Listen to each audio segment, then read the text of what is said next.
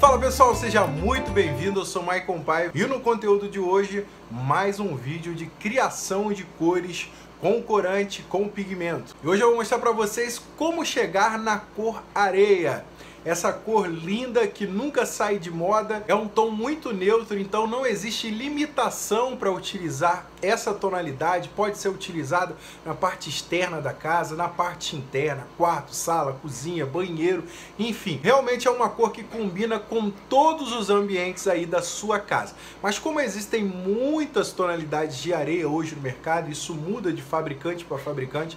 Por exemplo, se você pegar a tonalidade de areia da Souvenir, é diferente da Coral, da Sharon Williams, enfim. Então eu vou mostrar para vocês nesse vídeo duas tonalidades de areia, uma mais tradicional, mais escurinha, mais puxada para o marrom, e uma outra mais clarinha, mais puxada para o bege, porque existem muitas tonalidades. Então sem enrolação nenhuma, o estúdio improvisado já está separado aqui, vamos para lá, vou mostrar para vocês como é fácil um passo a passo de como chegar nessas duas tonalidades de areia. Mas você que gosta desse tipo de conteúdo, já deixa o seu like.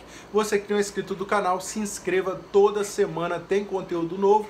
Bora pro vídeo. Estou aqui com meu copo medidor, minha tinta branca e eu vou colocar aqui 100 ml de tinta branca branco neve. Bom, já está separadinho aqui os dois recipientes, aproximadamente 100 ml de tinta em cada um. Vou deixar um aqui de lado. Vou pegar esse primeiro aqui e eu vou fazer a primeira tonalidade de areia. Vou mostrar para vocês como chega nessa tonalidade, que eu posso dizer que essa tonalidade é a mais tradicional, é a cor mais fechada, tá? Depois eu vou mostrar uma mais clarinha. E para esse tom mais fechado eu vou utilizar o marrom e o laranja. E para o tom mais clarinho, logicamente, eu vou utilizar o ocre e o amarelo. Então vou deixar aqui de lado. Vamos lá. Para essa quantidade aqui de 100 ml, a gente vai utilizar a seguinte forma. 33 gotas do marrom e 6 gotas do laranja para 100 ml. Muita gente, Michael, num galão de 3,6, é só você multiplicar por 36. Então, se eu tenho 33 gotas do marrom, é 33 vezes 36 chegou no galão.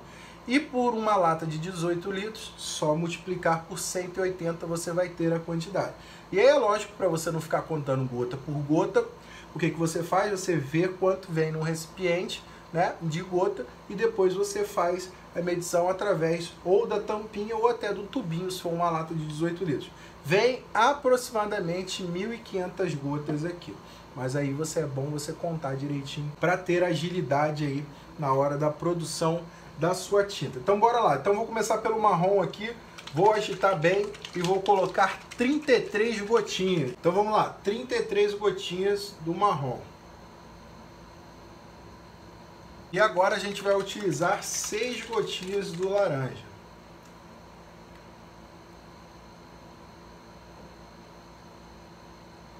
E agora é aquela hora da mágica. Vou pegar aqui com o auxílio dessa colherzinha mesmo vou homogeneizar essa tinta aqui. A gente vai chegar numa tonalidade de areia muito bonita, acompanha só.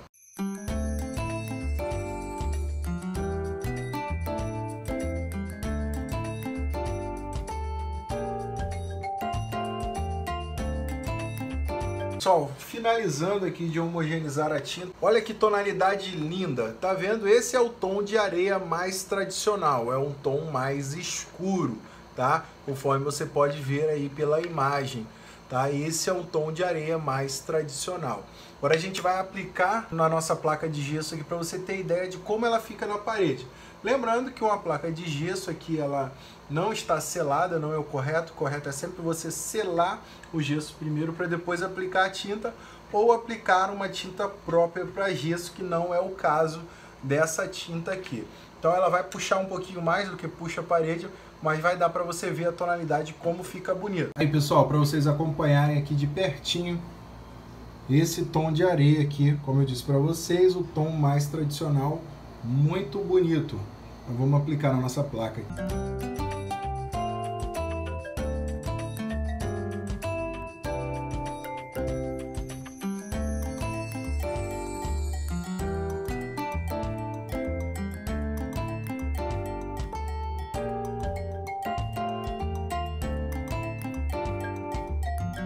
Bom, pessoal, tá aí a primeira tonalidade de areia, tá vendo? Esse tom mais escuro.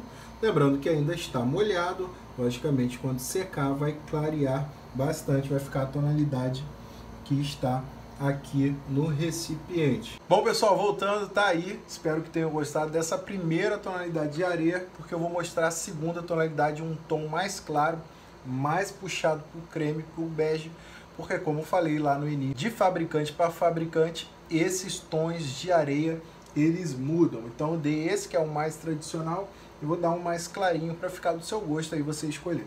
Então a gente chegou nessa tonalidade aqui com o pigmento marrom e laranja.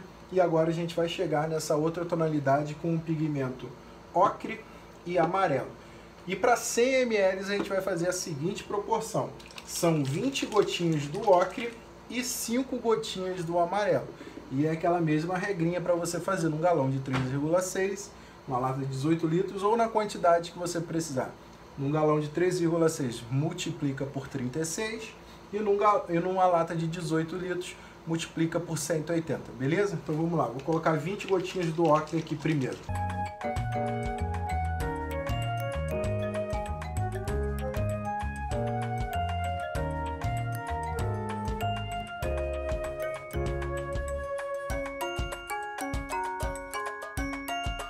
Bom pessoal, tá aí. Essa é uma outra tonalidade de areia que também você encontra dependendo do fabricante, tá? Um tom mais amarelado, até porque a gente utiliza o ocre e o amarelo, mas se você colocar aí na internet tons de areia, né, de tinta, vão aparecer tonalidades bem próximas a essa. E tem a tradicional que eu mostrei aqui já no, na primeira cor, beleza? Então vou mostrar como fica essa tonalidade também na nossa placa de gesso. Bom, tá aí, tá vendo? Uma tonalidade bem diferente da primeira, tá? Vou botar a primeira aqui de perto para você ver. É um tom de areia mais puxado pro amarelo. Agora a gente vai colocar na nossa placa aqui para você ter ideia de como ele fica na parede.